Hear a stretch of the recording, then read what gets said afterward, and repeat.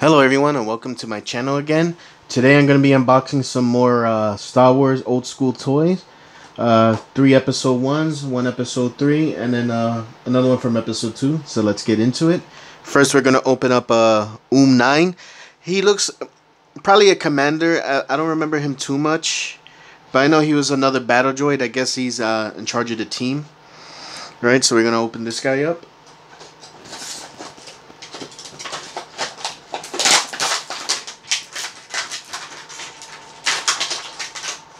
Get that little there.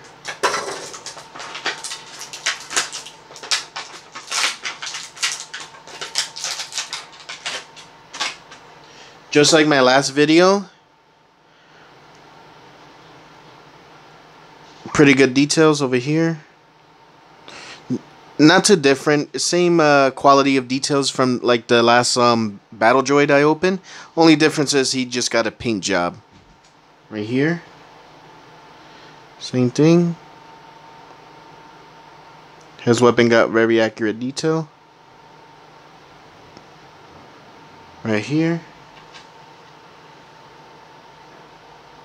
This is his uh, little binoculars. I thought it was a piece for him. For an old toy around 1998, um, Hasbro, I think they were, yeah, Hasbro. They were Kenner. I think Kenner is the one that made um, the very, very old school uh, Star Wars based off the uh, original trilogy.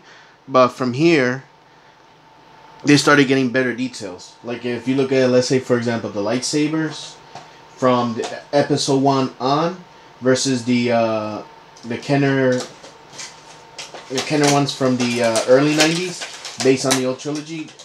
These guys started getting better. Of course, nothing nothing compared to like the new new Star Wars toys coming out now, based on the same size. So here we go. Droidekas or the Destroyer droids. I prefer to call them Droidekas.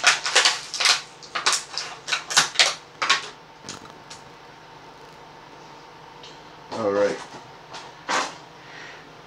Pretty awesome figure. Great paint job. Awesome detail.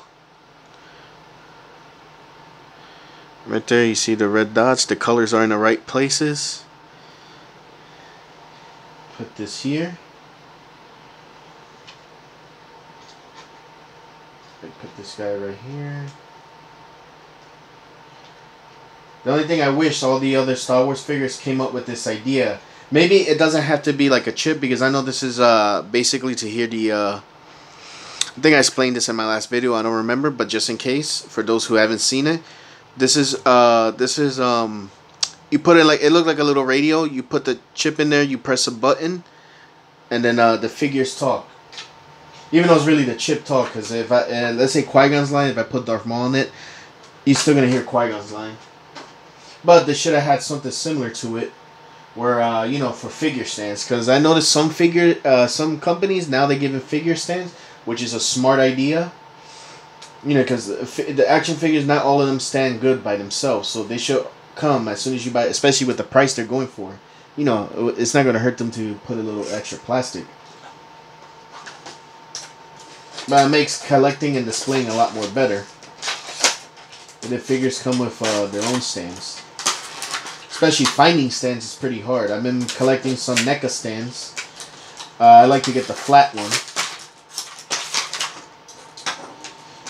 But again, it's hard to find. Now we're to go with Qui-Gon Jinn.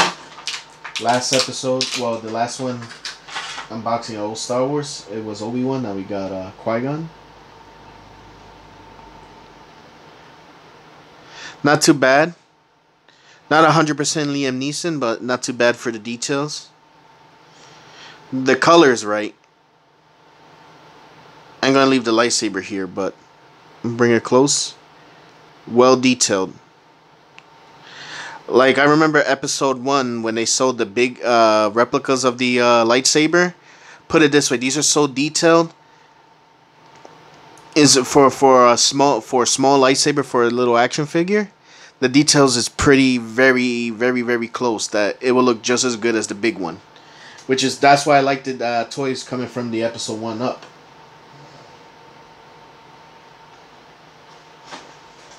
They uh started putting a lot more details into it. There we go. Get this guy to stand here. Alright, we're almost done. Now, uh, Revenge of the Sith, the Clone Troopers. Last uh, last video, we're doing the uh, small unboxing. I did the episode 2 Clone Troopers. Now this was the episode 3. Which I like this one because you could tell in episode 3, they started, uh, their helmets started to look a lot more closer to the uh, Stormtroopers we all know and love from the original trilogy.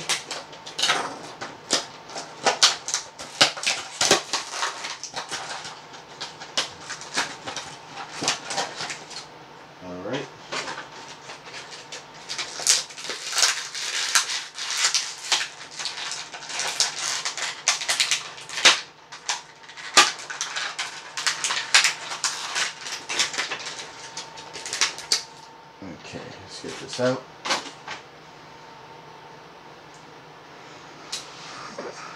These are made way after the episode one, so they just got better and better with their details, as you can see.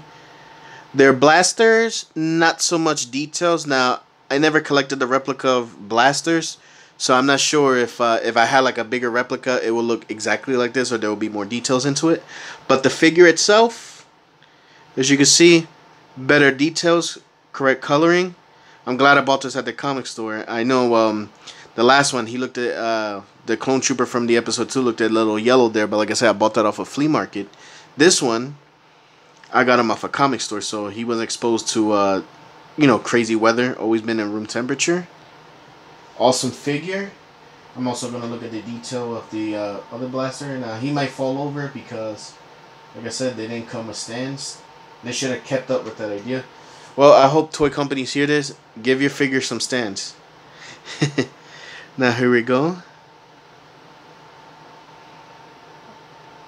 I'm not gonna expect too much details from these blasters. Let me see if I get better. Focus more.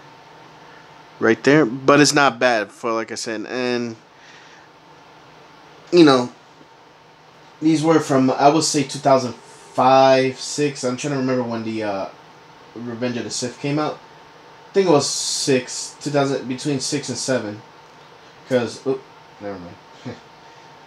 I I think I was still in high school, like in my last year. Cause I graduated 07, so probably around that year. But you know, these toy companies weren't putting as much details into their figures. It's funny because they had better ideas for toys, but not the but not the great sculpting and details.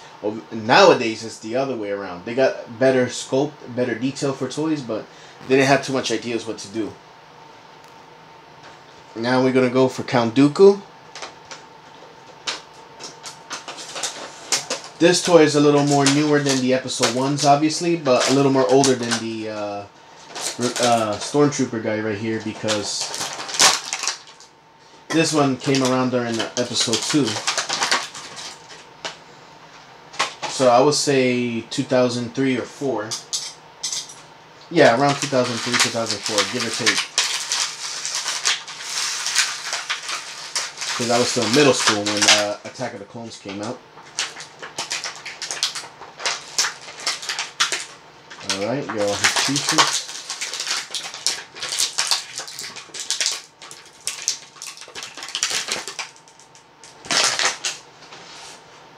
Alright, first, right here,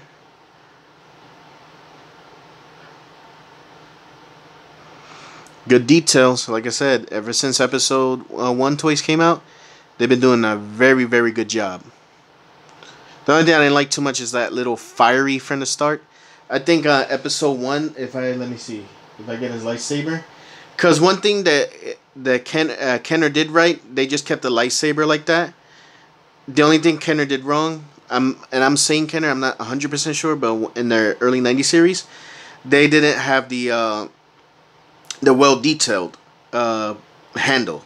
Like it didn't look like the actual movie, uh, like like the movie counterpart. Over here, episode one with Hasbro, they did a good job. Right here. See, they, they started doing better details, but they kept the way Kenner did it, just stick like this. Now, I'm going to show this other lightsaber. I didn't like too much uh, that little fiery thing that came out, and they started going with that uh, from this series on, from the episode uh, two series on, because episode three toys also have are also guilty of that. Now I'm not sure what the new modern ones. I think some do and some don't. I haven't been collecting like more up to date Star Wars. I've been collecting a lot of old school small figures. The only Star Wars modern I collect are the uh, series black, the the bigger figures, because they're way way more detailed. This lightsaber, I believe this is the one that Anakin was using. And Dooku cut it off. Now, I don't know why they gave him that extra. That In the last video with the Anakin toy, made sense for him to have that. Just to go close, it's a good detail. Now, I'm not sure if this is um, just like the last uh, lightsaber. I'm not too sure if uh, it's super accurate to the movie, but those weren't like, you know, main character lightsabers. They were just spare lightsabers when Anakin and uh, Obi-Wan was uh, captured. But I'm not gonna pay attention to that. They got his main lightsaber, right?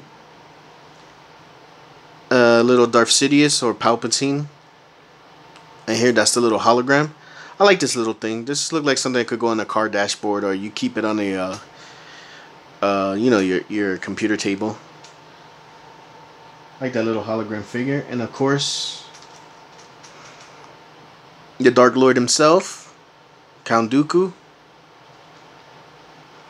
The colors right? The cape got good details. Let me see if it's focusing a little more. Right there. See the marking of the details? His clothes details are good. And if you go to his face like I said almost got the likeness of um, the actor Christopher Lee